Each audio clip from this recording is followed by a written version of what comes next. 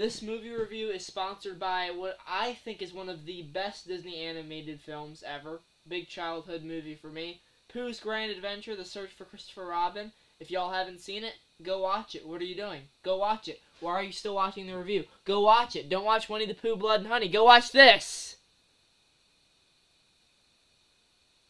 Yeah, I really hated this one. Winnie the Pooh, Blood and Honey was directed by Rhys Waterfield and is the worst thing I've watched this year so far.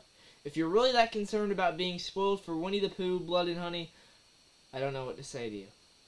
No spoiler segment here, we're diving into all of it. We're not going to be diving into much, because this movie is awful. I don't know what to say, honestly. We're going to be trashing this film, this whole review, honestly. There was potential for this to be not a great movie, but a movie that is so cheesy and bad, it's entertaining.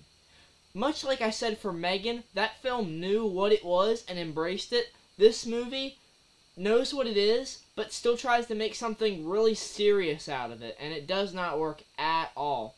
The Sharknado films are a great example of that, in my opinion. They're wacky, they're stupid, and they're cheesy, but the people making it know, so they just embrace that aspect of it. Winnie the Pooh Blood and Honey fails 100% on that front. Here, we basically have no effort. At least, none that I can see. Pooh and Piglet are basically two killers with masks. The designs are creepy, but look incredibly cheap. This also has to be the most boring and forgettable set of characters in a horror film I've seen as of late. I didn't care about anybody in this. You get Christopher Robin, which is something I guess, but he's just being tortured the whole film, and the past connection between him and Winnie the Pooh isn't utilized well at all. Christopher Robin watches Pooh brutally murder the main protagonist, then runs off into the woods beaten and bleeding. This film actually has the guts to tease that this story isn't over. There's still going to be a sequel, I guess. I, I, I couldn't care less, really.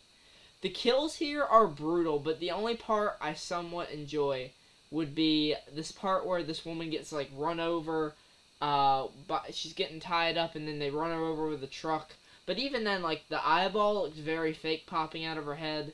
Uh, so, just very lackluster and low effort and just cheap, like I said. Um, it's unfortunate that this is my 100th movie review I've done. and it's for this, this movie. Because there's just nothing redeemable about it, really. That's, that's all I've got. I just wanted to get this review out before I did Cocaine Bear and Creed 3. Two far better films that I would love to talk about way more than this. So, yeah, anyway, the next reviews you guys can expect are those Creed 3 and, and Cocaine Bear. As for this film, Winnie the Pooh, Blood and Honey gets a 1 out of 10. It is a complete embarrassment and a complete disappointment. Take care, guys. Look forward to those next movie reviews. and I'll see you later.